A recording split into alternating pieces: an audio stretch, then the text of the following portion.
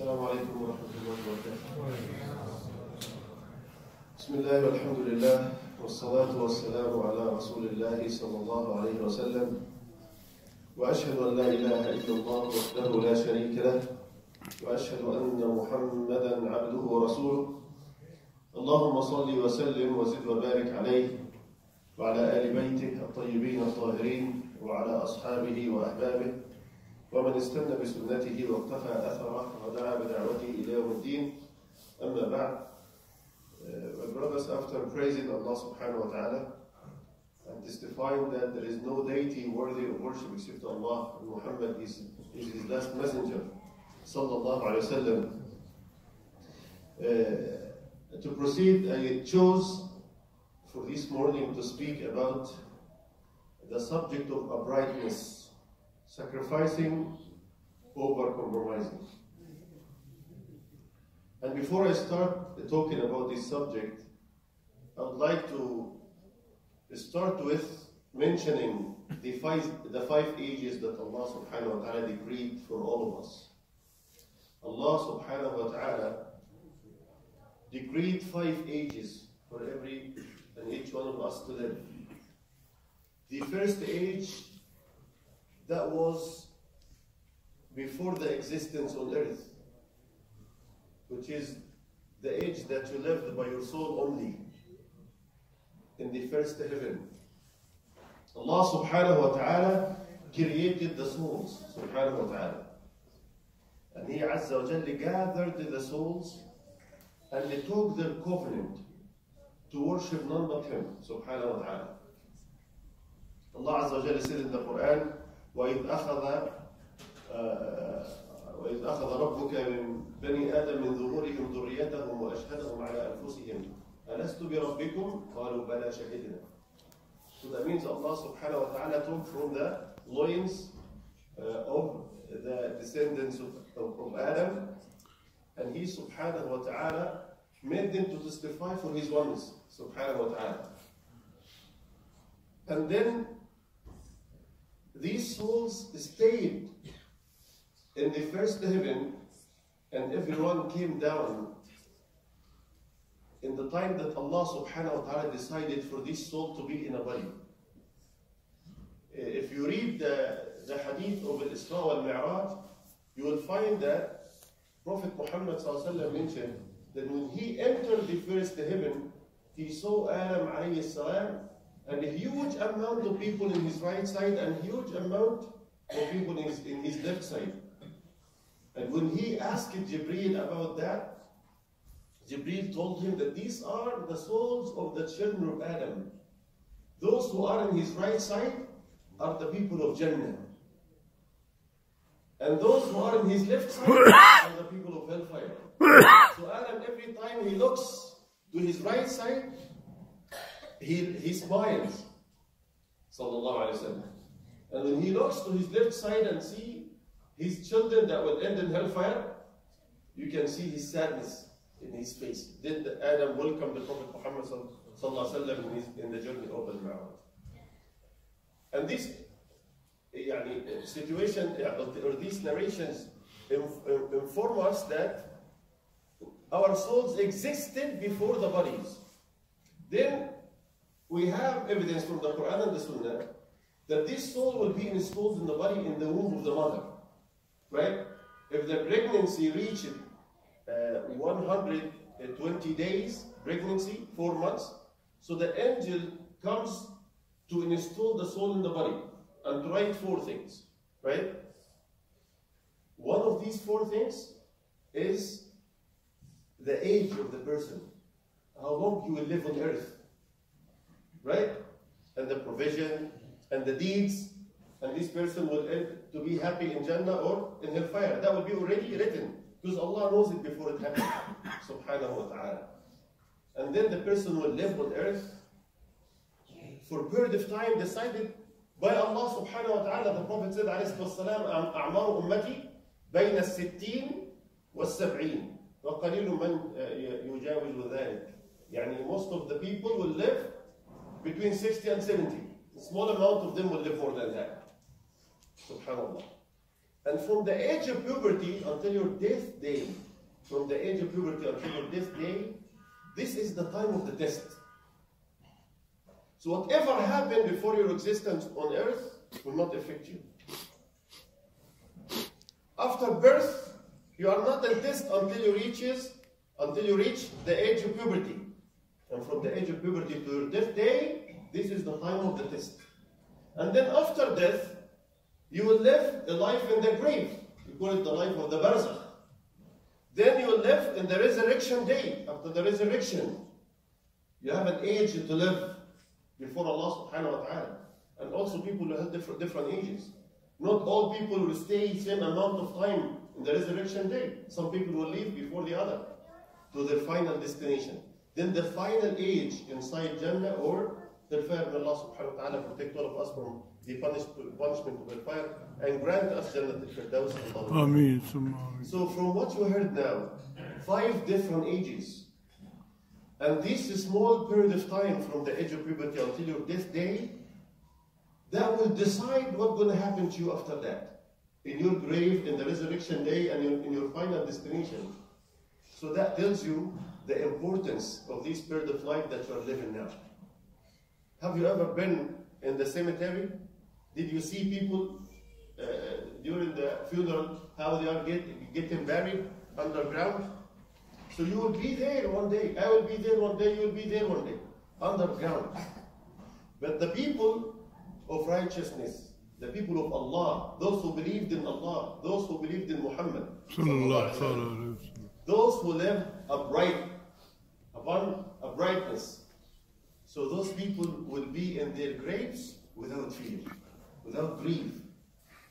And those who will be only in this dunya, thinking about dunya, their concern is dunya, their concern is, is how to uh, be happy in dunya, to make money, and to own material things. Those people will suffer in the time of their death. This is the reality that Allah subhanahu wa ta'ala mentioned in the Quran and the Prophet Muhammad sallallahu alaihi wasallam mentioned in the Sunnah. So Allah Azza wa Jal commanded uh, uh, uh, the Prophet and the believers and said, فَاسْتَقِمْ كَمَا أُمِرْتَ وَمَنْ تَابَ مَعَكَ Staqim, remain uh, upright as you are commanded, as you are commanded. And those who repented with you, those who repented to Allah, those who believed in you, should be also upright on istiqamah. A man came to Prophet Muhammad sallallahu alaihi wasallam. His name is Sufyan ibn Abdullah, uh, and said to Prophet Muhammad sallallahu alaihi wasallam, "Ya Rasulullah, قل لي في الإسلام قولا لا أسأل عنه أحدا غيرك." In, in another narration, لا أسأل عنه أحدا بعدك. Yani brief Islam to me in few words, so I don't need to ask anybody else about Islam.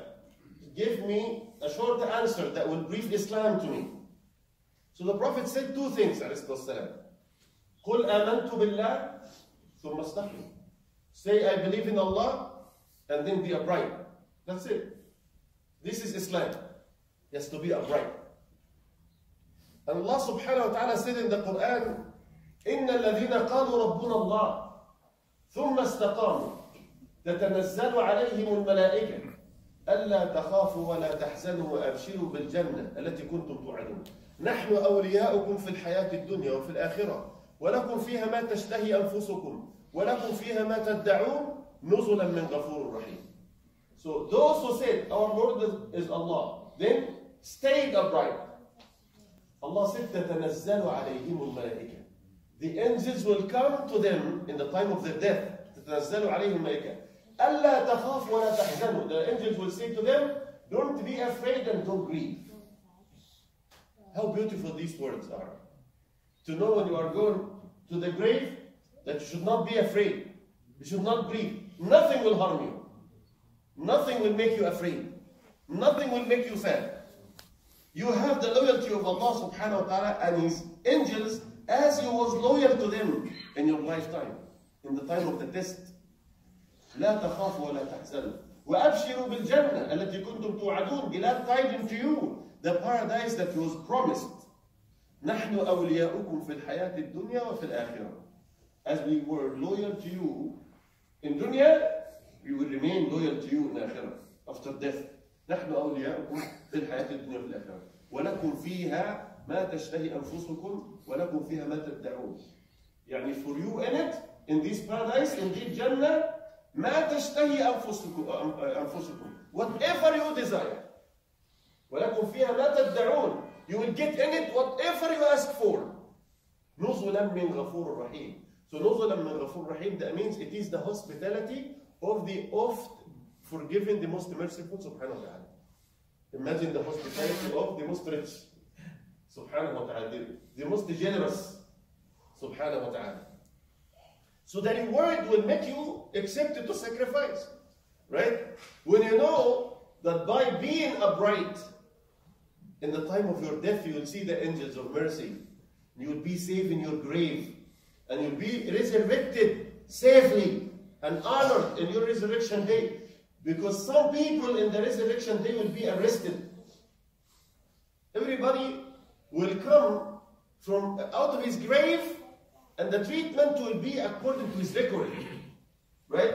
So those who used to be criminals in this dunya and tyrants, those who rejected Allah and His right, those who rejected the Prophet ﷺ and his guidance and his sunnahs, those who did not care about the purpose of their existence, will be arrested. Allah said in the Quran, subhanahu wa ta'ala, وَقِفُوهُمْ إِنَّهُمْ مَسْئُولُونَ And they stop them. You will be interrogated.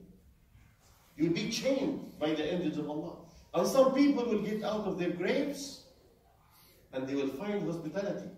They will find the angels waiting for them to take them to their Prophet ﷺ beside the river of Al-Kawthar. This is the appointment with Rasulullah ﷺ. Our Prophet ﷺ, he said to the companions that their appointment with him is beside the river Al-Kawthar.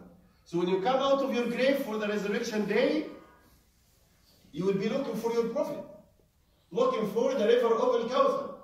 You'll find the angels in your reception taking you to your meeting with Rasulullah sallallahu alayhi wa sallam. So imagine a believer above a camel walking toward the river of Al-Kawthar to meet with Rasulullah.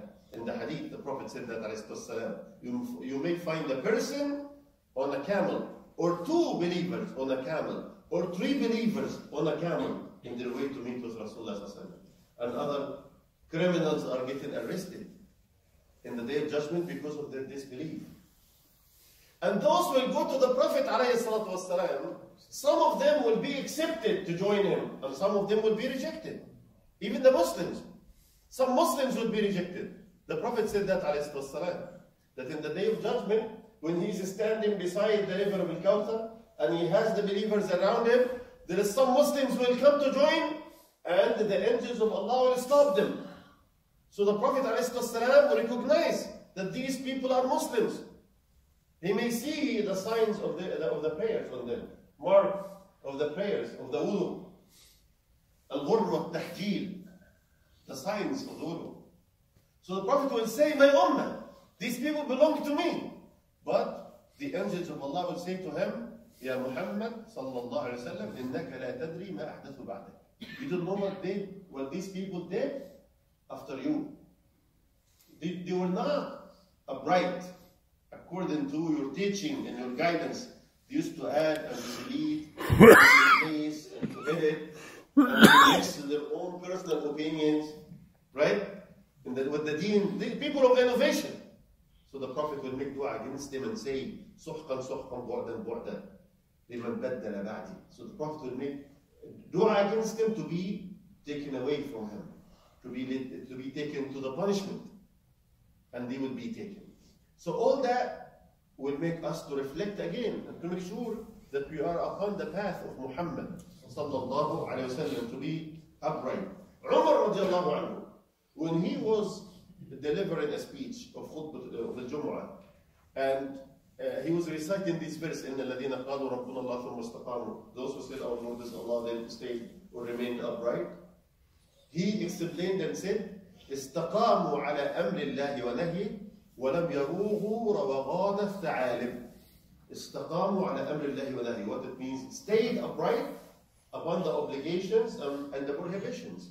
That means they did the obligation, fulfilled the obligations, obeyed the orders and the commands, and they refrained from every haram. This is the simple meaning of istiqamah. Is to do what is obligatory, to refrain from what is haram. One word, easy and simple, as easy as that. And he said, "و- وَلَمْ يَرُوغُوا رَوَغَانَ الثَّعَالِبِ يعني they did not dodge like fox. They did not dodge like fox. How people dodge like fox? How they dodge like fox? When they play around, they are not straight. In their relationship with Allah, they are not straight. They are not taking it serious. Allah subhanahu wa ta'ala called the religion of Islam a heavy word. He said in the Quran, إِنَّا سَنُلْقِي عَلَيْكَ قَوْلًا ثَقِيلًا we will reveal to you a heavy word. So La ilaha illallah is a heavy word. Heavy word because it is a methodology of life. It is a creed. It is uh, legislations for the worship uh, and uh, uh, fiqh of transaction and judicial system and social system and it is a way of life a word for, for your life from A to Z and Allah said subhanahu wa ta'ala in the Quran to the people of the book He said خذوا ما آتيناكم بقوة واذكروا ما فيه So Allah said to the people of the book take what I have revealed to you strongly and he said to Yahya عليه السلام يا يحيى خذ الكتاب بقوة take the book strongly so why, why Allah is saying to us in the Quran what he said to Yahya and what he said to the children of Israel because he wants us to do that subhanahu wa ta'ala also to take, to take the Quran seriously to take the Quran strongly so to try to learn the Quran and to know the wisdom and the guidance in the Quran the Quran will guide us to every good in dunya and akhirah. Allah said in Surah Al-Baqarah, in the first verses of the surah, He said, ذَلِكَ الْكِتَابُ لَا رَيْبَ فِيهِ This book, there is no doubt in it, هُدًى لِلْمُتَّقِينَ Guidance for the righteous. Guidance for the pious. So the, those who have no piety, those who are not righteous, will not be guided by the Quran because they will ignore the Quran. They will not learn the Quran. They will not read the Quran. And also Allah said in Surah Al-Isra, subhanahu wa ta'ala, إن هذا القرآن يهدي للتي هي أقوم. Indeed, this Quran guides to every good. To every good in dunya and akhirah. So those who follow the guidance of the Quran will be guided in dunya to what pleases Allah subhanahu wa ta'ala. They will be guided in akhirah to the paradise and the reward of Allah uh, subhanahu uh, wa ta'ala. So, the Prophet of Allah subhanahu wa ta'ala mentioned in hadith that the person may live most of his life doing the actions of the people of Jannah. Then at the end of his life, he will do the actions of the people of hellfire and enter hellfire. And he mentioned, sallallahu alaihi wasallam, that some of the people will do the actions of the people of hellfire most of their life, and at the end of their life, they will be guided to do the actions of the people of Jannah and enter the Jannah of Allah subhanahu wa ta'ala. That means eh, the, the, the, the result will be according to what happened at the, at the final part of your life, how your life is concluded. So the person may do the actions of the people of Jannah as you see him in the masjid with Muslims here and there, but there is something missing that will make him turn upside down before his death and die upon misguidance. Like what? There are three conditions for, the, for Islam to be accepted, for your deed to be accepted. Correct iman and sincerity in intention and the correction to the action. That means you are a believer, you have the correct creed, and sincere in your intention, doing the actions of worship to please Allah subhanahu wa ta'ala, seeking His reward, not for worldly gain, and doing it according to the Sharia of Islam, not upon innovations. So if you fulfill these three, your deed will be accepted. So if a person lived the most of his life doing the actions of people of paradise but not fulfilling these three conditions, that may turn him upside down before his, his death and die as a misguided person.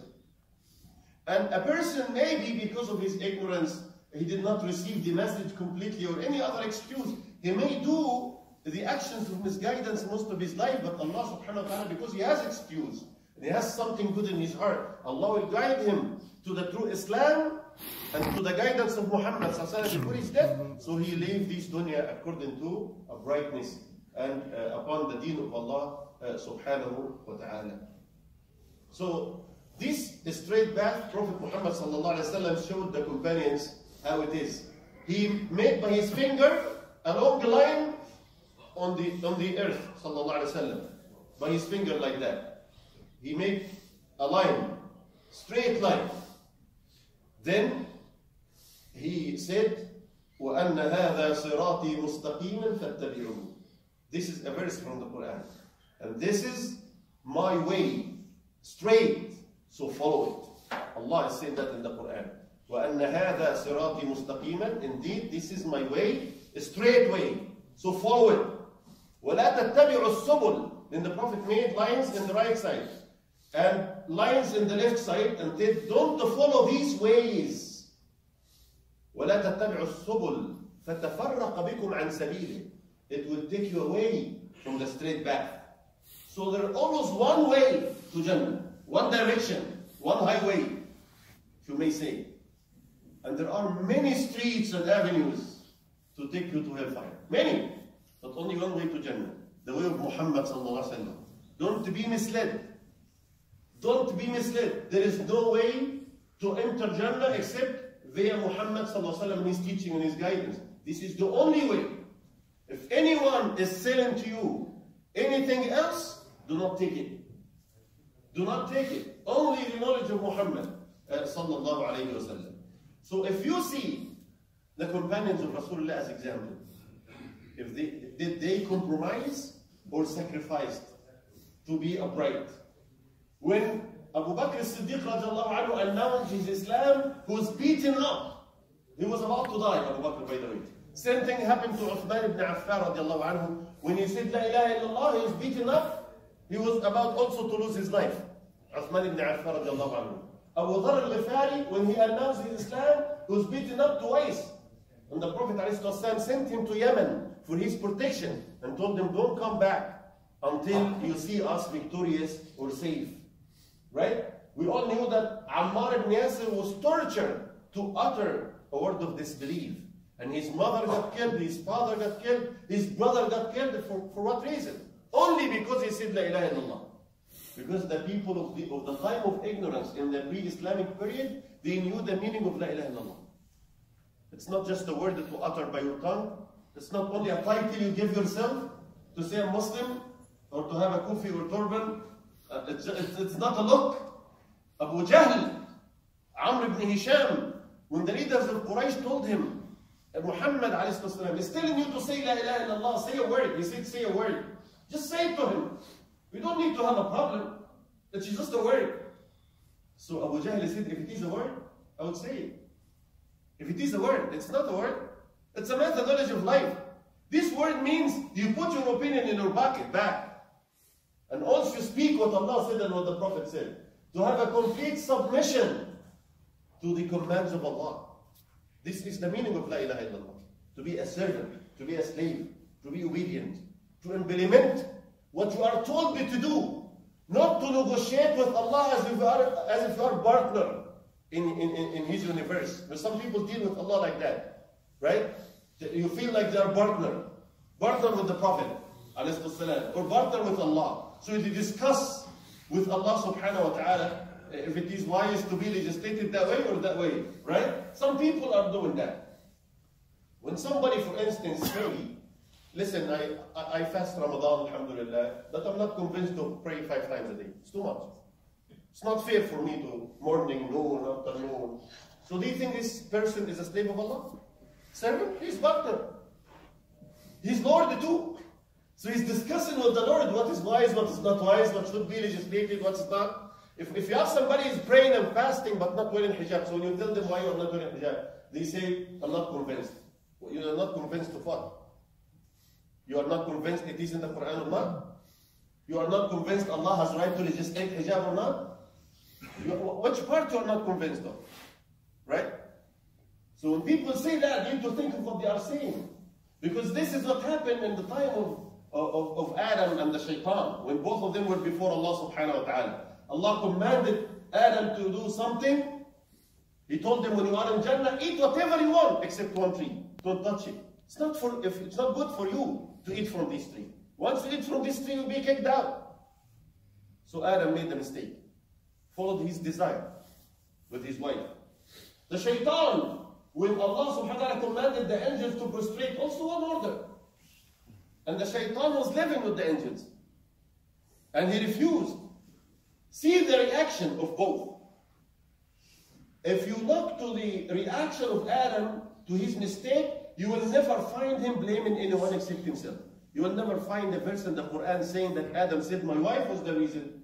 The shaitan whispered to me, I, I, I was, I didn't know. He didn't say anything other than, ربنا ظلمنا أنفسنا وإن لم تغفر لنا وترحمنا لنكونن من الخاسرين. Oh Allah, we wronged ourselves. If you don't forgive us and have mercy on us, we will be among the losers. Done. Nothing else. I'm wrong. But Iblis was negotiating and defending, trying to find an excuse. How I prostrate to somebody you created from a mud and you created me from fire. I'm better than him. Right? So he's this is exactly what a lot of us are doing now with the Sharia of Allah. When you tell them riba is haram, when you tell them uh, uh, uh, fornication is haram, alcohol is haram, for instance, or you must pray and fast and wear hijab and do this and that. So they come to speak a lot and make noise other than following the straight path of Allah subhanahu wa ta'ala. So the companions of Allah subhanahu wa ta'ala did not compromise. They accepted to be tortured, and none of them changed a word from the message of Muhammad. They were migrated from Mecca to Abyssinia twice, and migrated from Mecca to Medina, leaving behind everything, their family, their wealth, their possessions, their, their social supporters. They left everything for Allah and His Messenger. And they joined the Prophet wasallam in every confrontation for the sake of Allah subhanahu wa ta'ala to show their obedience and their submission. And uh, I will give you some examples if we have some time to see how the companions of Rasulullah used to honor the, the commands of Rasulullah. Uh, uh wallah, every time I, I, I, I, I, narrate this incident, it, it touches my heart. I, it, it tells me exactly the mindset of the companions of Rasulullah. The level of iman in the heart. If you imagine with me that Prophet Muhammad is delivering the khutbah of Jumu'ah, and he found people standing up. So the Prophet told them, sit down. And then he completed the khutbah. And after the khutbah, he found Abdullah ibn Mas'ud sitting down in the street. So when the Prophet told him why you are sitting down the street, why you did not enter the masjid, he told him that he heard the Prophet saying, sit down. So he wanted to sit down immediately to be in the safe side. Because maybe the Prophet is talking to him. Imagine that. Yani if you are there and you heard the voice of Rasulullah saying sit down and you don't know if the Prophet is talking to you or not, you will enter. Ask him, right? Do you mean I sit down? Are you talking to me, O Messenger of Allah, right? It's fair to do that. But see the mindset. Sit down first. Then ask later To be in the safe side. Because Muhammad sallam, commanded and said, sit down. That's it. When you know that a person was wearing a ring from gold, and Prophet Muhammad sallam, saw the ring in his hand, so he told him, يَعْمِدُ أَحَدُكُمْ إِلَى جَمْرَةٍ مِنَ النَّارِ فَيَجْعَلُهَا فِي يَدِهِ يعني intentionally you are going to bring a rock from fire and put it in your finger. But if a gold is haram for men and you wear the gold, this is a, a rock from fire in your finger. So the man took it and threw it away. So somebody told him, take the ring and sell it. Haram to wear it, but not haram to own it. If you sell it, you make money. You return your money back. He said, no, by Allah. I will never touch it after Prophet Muhammad took it and threw it away. Alas, done. And the Prophet saw a woman and her daughter wearing gold in their hands. And the Prophet told them, Do you pay the zakah of this gold? So they said, No. So Prophet, do, do you like to be uh, uh, burned by the fire? This part of your body that covered by a gold that you're not paying zakah of it will be burned in the hellfire. So she took the gold and threw it away immediately. Gold! Because gold means nothing when it comes to hellfire. Right? If it will make you lose the Jannah, you don't want it. Anything will be between you and the Jannah of Allah, you don't want it. So be upright and to maximize the command of Allah, the command of His uh, Messenger, uh, sallallahu alayhi uh, wasallam. Prophet ﷺ is leading the salah. He started the salah while his shoes was on, sallallahu alayhi wasallam. And then, during the salah, he took his shoes off. After the salah, he found the companions who started the salah while the shoes were on. All of them, they took the shoes off. So the Prophet asked them, why you took your shoes off? So they said, because we saw you taking your shoes off, so we took our shoes off. He said, but uh, Jibreel came to me, informing me that I have impurity in my shoe, that's why I took it off. So I have excuse, you don't have it, right? But once they saw the Prophet ﷺ taking the shoe off, even in the middle of the salah, they took the shoes off. They took the shoes off. Uh, Subhanallah, when Prophet Muhammad sallallahu taught the companions not to prevent women from coming to the masjid. لا تمنعوا إماء الله مساجد الله. Don't ever say to your wife or your daughter, don't come to the masjid. Don't do that. Yes, you have authority at the home. You are the husband, you are the father, but you don't tell your females, don't come to the masjid. You have no right to do that, right? So one of the children of Umar said, Wallahi la namna'hum. One of the children of Umar ibn Khattab, he said, by Allah, I will stop them from coming to the masjid. Because he was afraid that maybe something happened to them in their way to the masjid, somebody bothered them. So, so he, his father was very tough on him. To hear that Prophet Muhammad said, "Sallam, do not stop them from coming to the masjid, and you're still able to say, don't go to the masjid. It was a big problem between Umar and his son, because he said, I will stop my wife from coming to the masjid. Because the Prophet said, don't do that. If the Prophet said, don't do that, it means don't do it.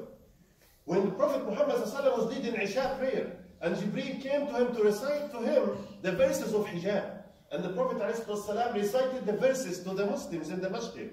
Every and each one of them went to home to deliver the verse to his mother, to his daughter, to his wife, to his sister.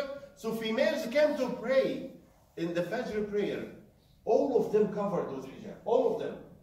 The narrator said, لا يعرفن من الغرس. You don't know who is who. All of them are covered. Reaction within a night. One night, the order comes in Isha, all of them wearing hijab and fajr. One word. When uh, Muslims were addicted to alcohol, by the way, because the Arab uh, people in the Arab Peninsula used to be addicted to alcohol. When Islam came, they still addicted to alcohol, right?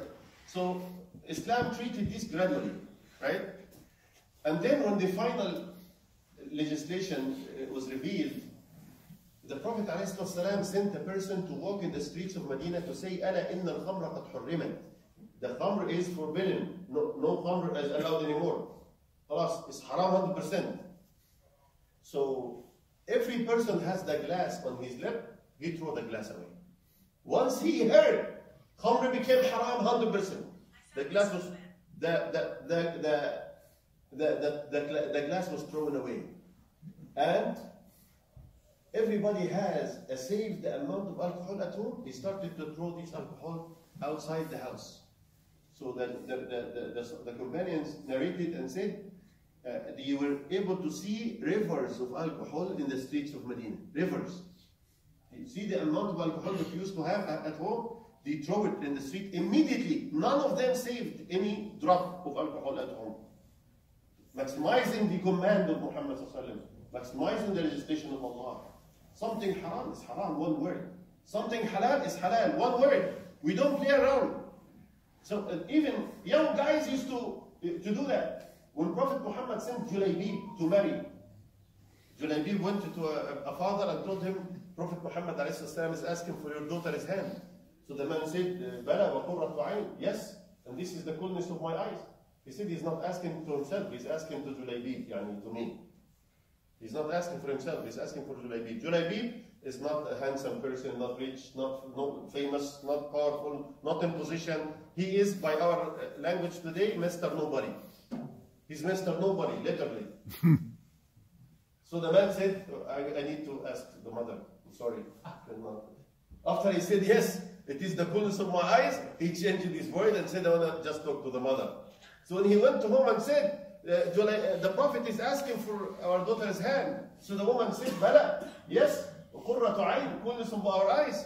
So she, they said he's not asking for himself, he's asking for Julaybib. So the woman uh, hit the chest and said, Halqa. You know halqa mean? Shaving.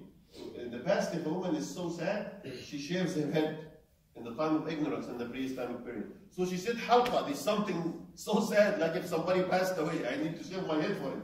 Right? Julaybi, this poor man is asking for the hand of my daughter, so the daughter herself said, if the Prophet is sending him, give me to him. The Prophet knows what is good for me more than you. So this was also the mentality of their teenagers, right? Because uh, we have always excusing te- teenagers like if they are still baby. No, teenager used to be muftis. Read the story of Abu Hanifa. Read the story of Shafi'i. And see in which age they used to give fatwas. The leaders of the, of the army of the Muslims, 19 and 18 and 20. Mus'ab ibn Umayr was the ambassador of Islam in Medina, speaking in behalf of Muhammad wasallam and his ummah when he was 18 years old. Osama ibn Zayd was the commander in chief, leading the army of the Muslims in the age of 19 or 20, as it is narrated. But our kids in 19 and 20 playing games because we are treating them like little kids, like infants. Right? We are not giving them the power of, of, of, of, being adult early, in the, in the proper time. We are not preparing them to be adult on time in the age of puberty. When they are 14 and 13 and 15, they are adult. They are men. They are women in this age. We need to give them these uh, responsibilities and pre- pre- prepare them for that. And don't give the society as an excuse, the era and the society in America, and keep excusing, excusing, excusing until we became too far from the guidance of Muhammad uh, sallallahu alayhi uh, wasallam. So Allah said in the Quran, I know I don't have uh, يعني more than two minutes for seven, I guess. Uh, Allah said in the Quran, أَفَتُؤْمِنُونَ بِبَعْضِ الْكِتَابِ وَتَكْفُرُونَ بِبَعْضِ Do you believe in some of the book and disbelieve in